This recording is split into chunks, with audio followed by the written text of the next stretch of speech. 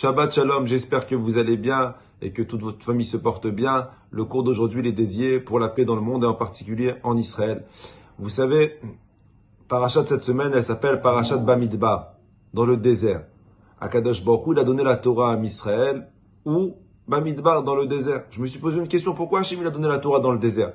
Pourquoi Hachem il n'a pas donné la Torah? Dans une grande ville, dans une grande métropole C'est plus kavod, c'est plus respectueux pour la Torah. Pourquoi l'a donné dans le désert? Dans quelques heures, Bezrat Hashem, ça va être, on va fêter Shavuot. Shavuot, c'est le don de la Torah, mais c'est aussi l'Aïloula de David Ameler, le jour du décès de David Ameler. C'est pour cela qu'il est très bien, qu'il est conseillé de lire Teilim, d'essayer de finir le livre de Teilim pendant la fête de Shavuot. À Shavuot, on fête le don de la Torah, comme je vous ai dit, et aussi l'Aïloula de David Ameler. David Ameler, le roi d'Israël.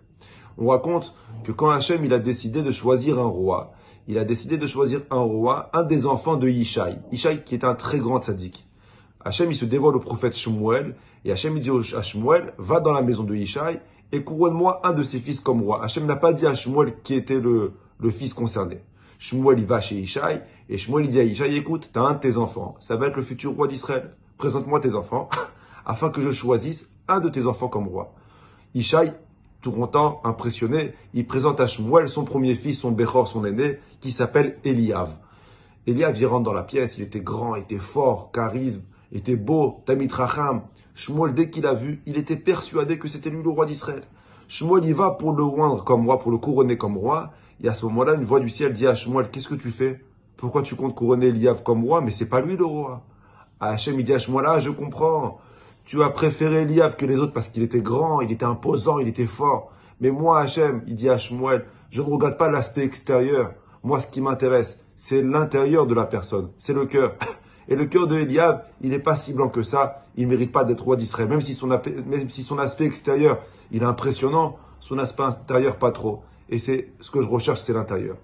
Donc Shmuel, il dit à Ishaï, non, c'est pas lui, présente-moi un, un, autre fils. Deuxième fils qui arrive, Avinadav, aussi grand que son frère, aussi fort que son frère.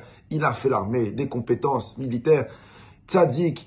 Et Shmuel, il se dit, c'est sûr que c'est lui le roi. Il va pour le couronner comme roi. Et Akadosh Baruch une deuxième fois, il dit à Shmuel, qu'est-ce que tu comptes faire Encore? Mais c'est pas lui le roi. Toi, tu te bases par rapport à l'aspect extérieur. Ah, comprenez que Hachem, il n'est pas impressionné ni par la richesse, ni par la grandeur, ni par la force. Ça, c'est des qualités que Hachem il donne. Et Akadosh Baruch il dit, c'est pas lui le roi. Moi, je regarde l'intérieur. Son intérieur, il est pas bon. Troisième fils, quatrième fils, sixième fils, il a vu tout le monde. Et puis Ishaï, il dit à Shmuel, écoute, t'as vu tout le monde, j'ai plus rien à te présenter. Shmuel lui dit, mais c'est pas possible. Si Dieu, m'a dit comme quoi c'est un de tes enfants qui est roi, c'est que c'est un de tes enfants. Il t'en reste pas un petit dernier. Alors Ishaï, il dit, écoute, il m'en reste peut-être un, mais tu sais, je, je le vois pas capable pour être roi, je le vois pas capable pour être gouverné. Il est chétif, il est pas courageux, il a pas le charisme d'être un roi. Il dit, écoute, je suis là, fais-le rentrer. Il dit, mais il va pas te plaire, il ressemble à Mélenchon, ça, ça va pas passer. Il dit, écoute, je suis là, présente-le-moi. Et Isha, il appelle David. David qui rentre à l'intérieur. Tous ces frères, ils ont commencé à rigoler quand ils ont vu David.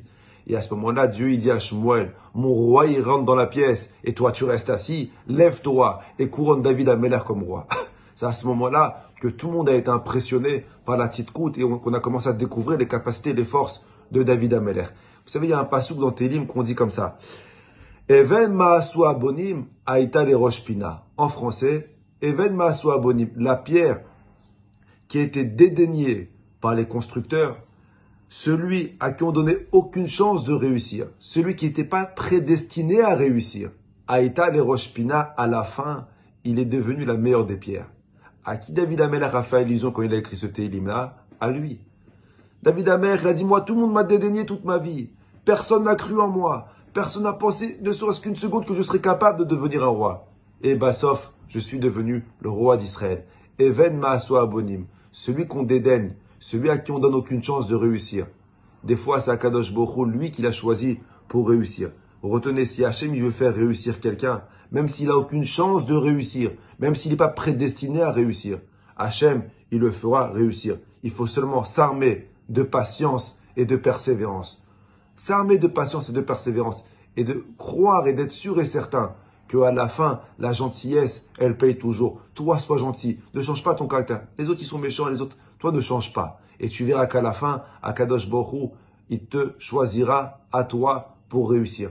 Et c'est pour cela que Akadosh Borou a donné la Torah dans le désert. Pourquoi Hachem a donné la Torah dans le désert? Parce que Hachem il veut nous dire que même dans le, dans le désert, dans l'endroit le plus aride, le plus vide sur terre. Si je veux qu'il réussisse, alors le désert, il pourra réussir. Si je veux donner ma Torah à l'intérieur, alors je donnerai ma Torah à l'intérieur. De rien, je peux lui rendre, je peux le rendre le plus beau des endroits. De là, on apprend, arme-toi de patience et de persévérance. Continue à rester gentil, ne change pas. Et Akadosh Baruch à la fin, il te fera réussir. Even Maswa Abonim, Aïta les roches la pierre qu'on a dédaignée, à la fin, c'est elle qui a réussi. Wachavat, vous et toute votre famille. À la semaine prochaine et Chag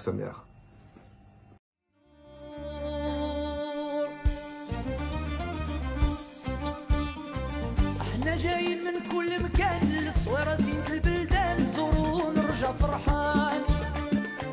كفا ولا الهيل ولا حرق سلاح وطلوم حيلة نضربو شوفارة.